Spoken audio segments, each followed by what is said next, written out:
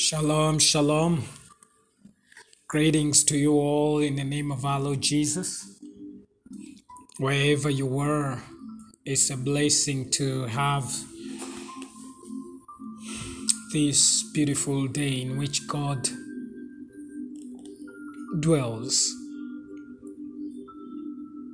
Even the existence of the day is caused by God.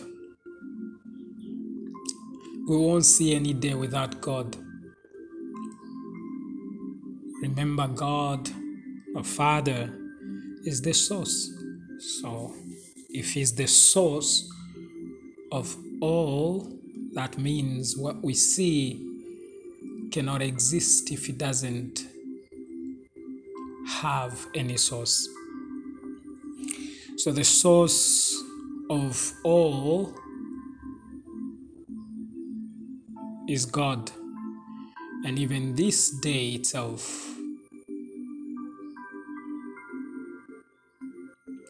is connected in God. So when God is in a day, the day is supposed to obey Him. You see, everything was created for a purpose. You study in uh, Colossians chapter 1, and uh, throughout that chapter, you realize that all things were created and they were created for Him. So, if the maker, the creator, the manufacturer of something has created or manufactured something, there is a purpose, there is an intent before he engaged into creation.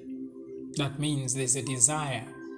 Whatever the desire is, whatever what you create will serve that desire, will serve that purpose or intent.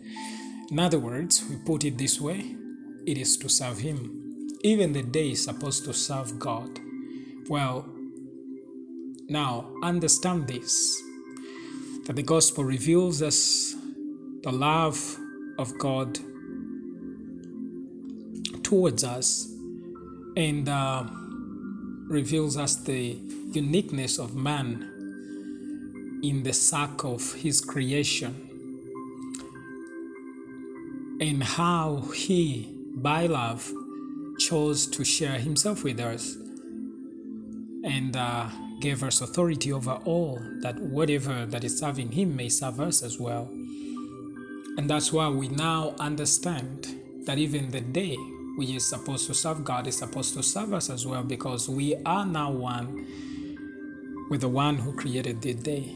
You see, that's where we get all the blessings and the favors. It's not by what we do, it's not what we are trying to, to do, it's what He did. But we have to understand what He did and uh, we carefully take advantage of all that belongs to us. That's what Paul will say when uh, addressing to Philemon, and he said, Philemon, verse 6 it says that the effective communication of your faith may be effectual. You know that the communication of your faith may be effectual by acknowledging all good things that is in you in christ jesus.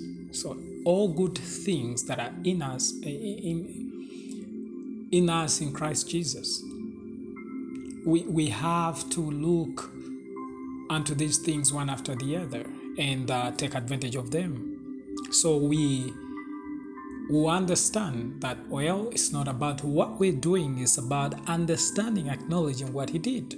Well, and, and that's the good news. The good news is acknowledging the acknowledging God, acknowledging Christ, acknowledging His work, His love, His favor, everything but pertaining to Him.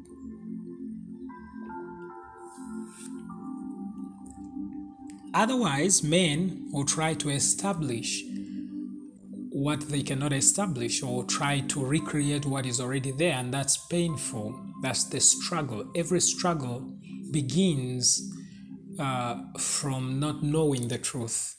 See, what if if the Bible says you shall know the truth and the truth will set you free? What if the struggles, every struggle, and the pain and the wounds are all originating from ignoring the truth. So we suffer because of what we don't know, or we suffer because what we don't is is what we know is wrong. Have you ever considered the beauty of knowing the truth? Do you know the freedom that you get from knowing the truth?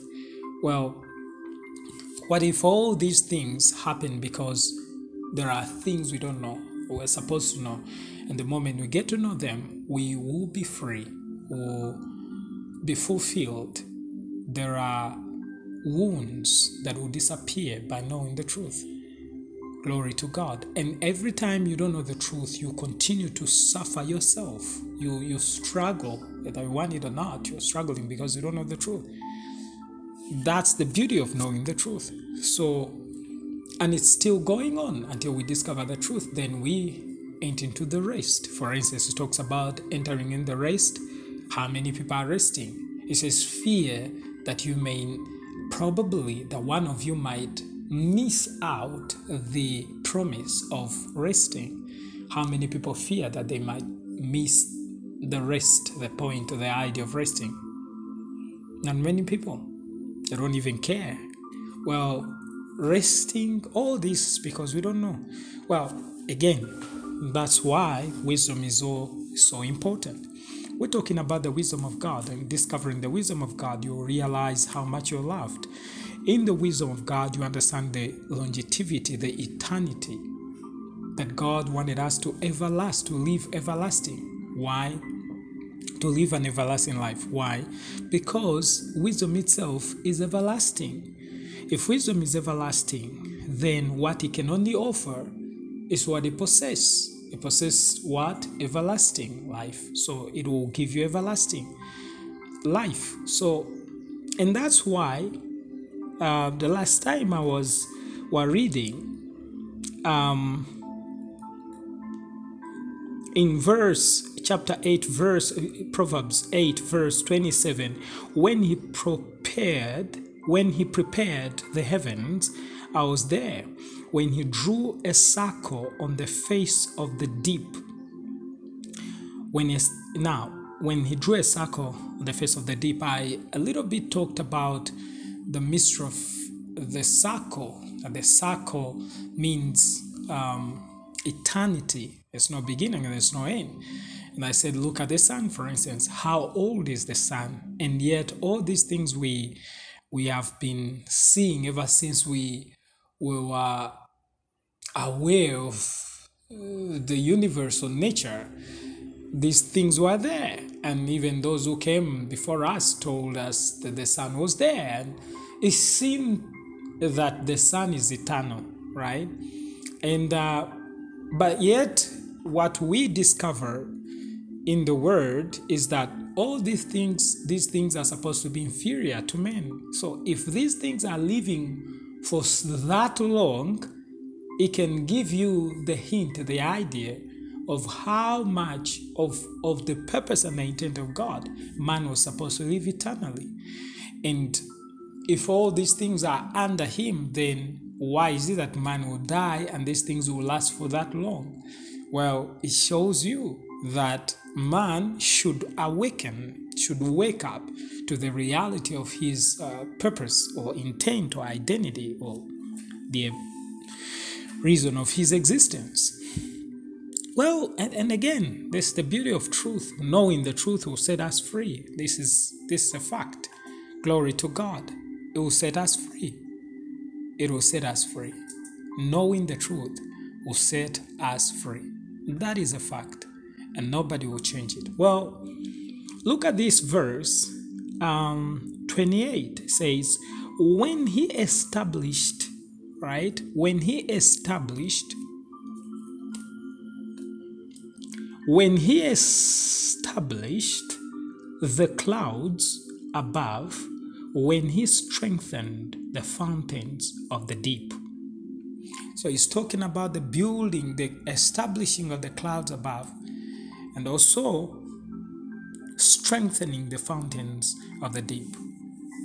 Have you seen different fountains in the ground, in this, on the earth in many places that through those fountains water comes out and gushes all the time and they create you know lakes and then later on sea um, the seas and, and, and, and many other uh, form of waters well this is God who established, who strengthened the fountains of the deep. And He also established the clouds above. So everything we're seeing is creation. Now, He's saying whether we're talking about the waters in the deep, the fountains in the deep, or the clouds and above, wisdom created all this. It creates things that are deep and above uh, in at any dimension, wisdom is doing the work, is showing us the uniqueness and the difference uh, of, of what? Of, of wisdom. 29 says, When he is assigned to the sea its limit, my goodness. So he even established when he assigned to the sea its limit. Why is it that you find there's a seashore, there's a limit to a certain the sea? Well, it is not limited from there by its own choice. It's limited there by the one who created it. The wisdom is so smart that it knows where this is supposed to begin from and where it's supposed to end from, and the rest of uh, the space will be occupied by other important things as well. You see the functionality of wisdom in establishing order, in bringing order and uh, the demarcation of things. Well, this is amazing. Wisdom is everything is doing a lot of things where do things supposed to begin from when do you supposed to end certain things wisdom is the source and knowing all this by wisdom. Glory to God. It says um, that so that the waters would not transgress his command. So you think the waters are where they are because they have chosen to be there.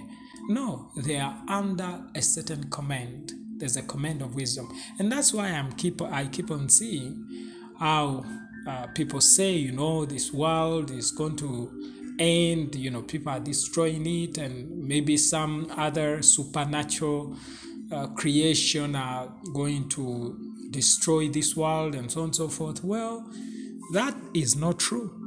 The reason why I know that this is not true is because everything is where it is by the command of the Creator, unless you are insinuating that these people have more powers than the creator. And that is uh, an insult to the creator. The creator is uh, so smart that you cannot compare him with or by anything you see. So by his command everything is where it is because of the command of god. The sun is where it is because of the command of god. So nothing will change it. Well only the creator. Glory to god Glory to God. Shalom, shalom. Wisdom is amazing.